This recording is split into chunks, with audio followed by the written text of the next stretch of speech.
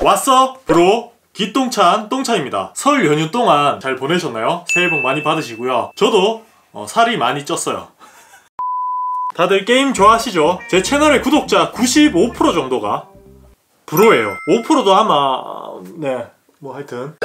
남자분들은 저처럼 게임을 좋아하실 거라고 믿습니다. 그래서 누구나 한 번쯤은 이런 장비들에 관심을 갖죠. 오늘 제가 소개해드릴 장비도 gaming 키보드라고 할 수 있고요. 하나 더 있어요. 네, gaming 장패드. 이게 또 매력이 상당히 있어요. 네, 그래서 이 두 개를 소개해드릴까 합니다. ADATA라고 하면 저뿐만 아니라 많은 분들이 SSD를 떠올리실 겁니다. 그 SSD를 만드는 ADATA에서 키보드를 출시했고요. 바로 XPG SUMMONER라는 키보드를 가져왔습니다. Cherry MX 적축을 사용한 키보드고요. 오늘 unboxing을 하고 제가 좀 사용도 해보고 뭐 이런저런 이야기를 해드릴게요. 네. 자 일단 unboxing부터 해봅시다.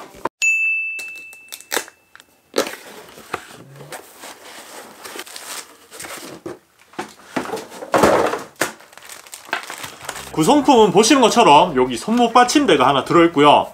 굉장히 폭신폭신해요. 그리고 어, red point keycap. 가장 많이 쓰는 WASD 그리고 방향키 그리고 밑에 뭐 특수키 같은 게 하나 더 들어있어요. 그리고 키캡 리무버가 보이고요. 또 설명서도 들어있습니다. 뭐 굳이 뭐 볼 필요는 없죠. 그리고 네 키보드가 들어있죠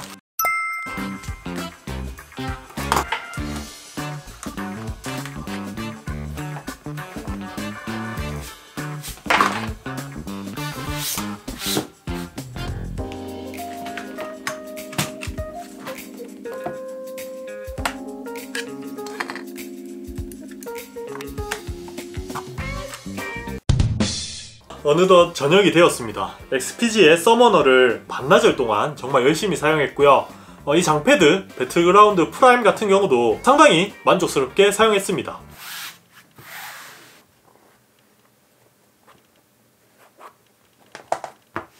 왜 게임을 좋아하시는 분들이 패드도 신경 쓰는지 알았고요. 특히 마우스를 슬라이딩 할 때그 감성 그 미끌미끌거리는 그 느낌이 상당히 좋았습니다. 게임을 좋아하시는 분들은 한 번쯤 구매해 보시는 것도 괜찮을 것 같습니다. 그리고 두 번째로 역시 이 XPG 서머너에 대해서 말씀드리자면 여러가지 장단점이 있는 키보드였습니다. 일단 첫 번째 장점이라고 할 수 있는 디자인부터 말씀드리자면 어, 전체적인 마감이 상당히 뛰어나요. LED가 밖으로 보이는 비키 타입을 채택을 했고요. 상판에는 알루미늄으로 마감을 했습니다. 그래서 굉장히 트렌드하고 고급스러운 그런 느낌을 내주고요.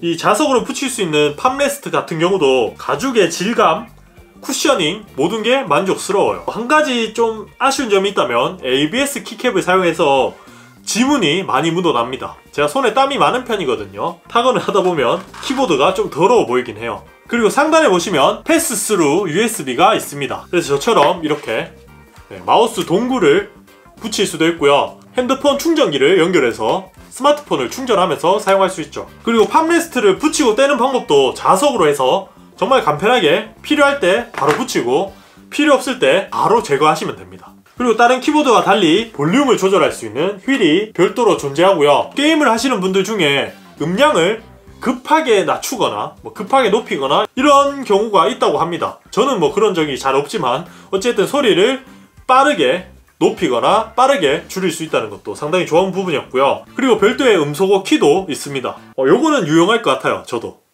급하게 뭐 누가 들어온다든지 이럴 때 있잖아요. 네, 영상을 볼 때 다 아실 거라고 믿어요. 그리고 동봉되어 있는 포인트 keycap도 상당히 예뻐요. 그래서 전체적인 소재의 마감, 디자인은 정말 마음에 들었습니다.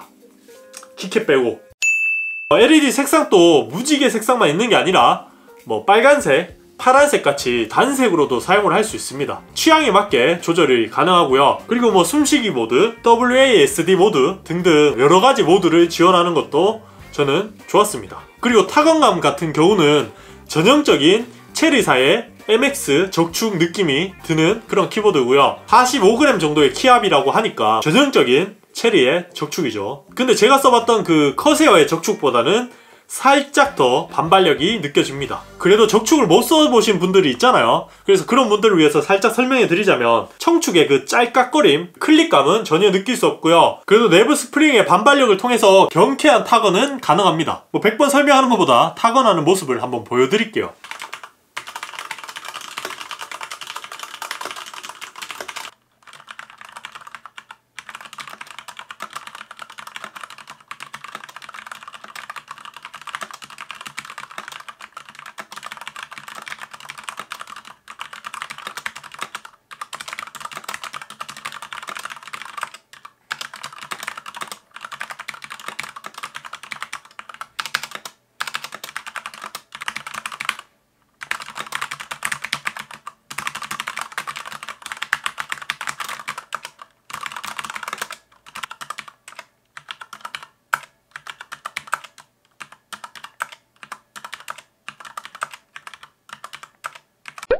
확실히 커세어 적축보다는 쫀쫀해요. 네, 쫀득쫀득한 맛이 있고요. 그리고 ABS keycap 자체는 미끌미끌거리기보다는 땀을 흘리면 흘릴수록 쫀쫀해지는 그런 keycap을 사용했어요. 개인적으로 싫어하는 느낌이긴 하지만 뭐 타건을 할 때는 전혀 불편함이 없는 그런 keycap을 사용했고요. 그리고 아까도 말씀드렸지만 이 palm rest가 달려있기 때문에 손목이 굉장히 편합니다. 특히 뭐 장시간 타건을 하시는 분들은 palm rest를 사용하시는 게 좋죠. 타건을 할 때 손목이 이렇게 꺾이게 되잖아요. 그러면 여기 손목에 좀 무리가 갑니다. 반면에 이 palm rest가 있으면 손목이 자연스럽게 펴지기 때문에 장시간 타건을 해도 어, 상당히 편안하게 느낄 수 있죠. 그리고 키보드 높이 자체도 상당히 낮아요. 자세를 잘 잡을 수 있다는 게 뭐 큰 장점이라고 느꼈고요. 이제 단점 같은 경우는 스페이스바, 시프트 같은 큰 키를 눌렀을 때 통울림이 있습니다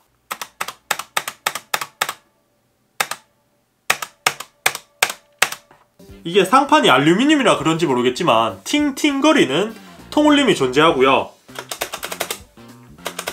그리고 stabilizer 소리도 상당히 들립니다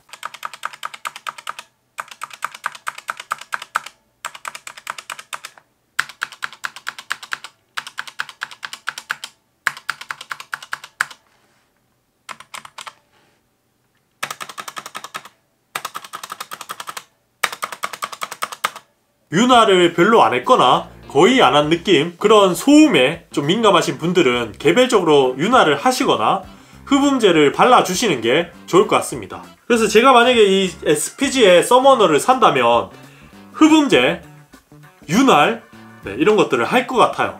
네, 그리고 키캡도 PBT로 바꿔줄 것 같습니다. 그렇게 전환해서 쓰면 저는 엄청 만족스럽게 사용할 키보드라고 느꼈고요. 뭐 그런 단점들이 있긴 하지만 어, 전체적인 마감, 타건감 이런 부분들은 상당히 만족스러운 키보드였습니다. 1월달까지는 할인된 가격으로 구매를 할 수 있다고 하니까 그 정도 가격이면 상당히 괜찮은 키보드라고 생각을 합니다. 여기까지 제가 리뷰해본 XPG의 서머너였고요. 오늘 영상이 재밌었거나 도움이 되셨다면 좋아요, 구독하기 잊지 마시고요.